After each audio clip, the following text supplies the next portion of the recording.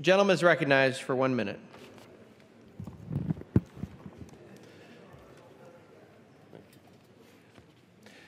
Mr. Speaker, I rise today to honor the life of a young woman and brave college athlete taken from us too soon. Her name is Lauren Hill. Many in Cincinnati know Lauren Hill's story of strength and resolve. Lauren stood as an inspiration to us all. Her dream was to play college basketball, and she committed to the Mount St. Joseph women's team. Then cancer struck.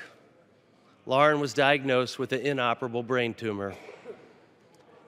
Too many of us know the devastating feeling when a loved one receives a cancer diagnosis. Knowing that her days were limited, Lauren didn't let it stand in her way. She took her fight to the court. She played with a purpose. Her purpose was for others, not for herself. Although she passed away last Friday at the age of 19, she has left a legacy of hope for a cure. As thousands came to see Lauren play and to support her mission, she raised over a million dollars through her nonprofit, a nonprofit to find cures for those that follow in her footsteps.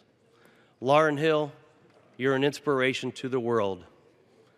Number 22, God bless you. Mr. Speaker, I yield back. Gentleman yields back.